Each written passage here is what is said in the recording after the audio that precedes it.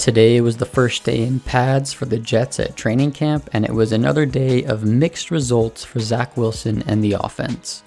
They started off the team drills on a high, with Zach Wilson making his best throw of camp on a 70 yard bomb to Elijah Moore for a touchdown. Many people have noticed that this throw is very similar to the Pro Day throw that went viral when Zach was preparing for the draft and I can definitely see some similarities there. However, after that play, the first team offense struggled to get anything going. Zach missed a couple throws, but the biggest issue seemed to be the struggling offensive line. The offense had two straight three and outs with Wilson at the helm. The good news is that he did not throw an interception. Coach Robert Saleh gave credit to the defense for the struggles on offense in his post practice press conference and personally, I think that the offensive line is still getting used to playing in their new spots.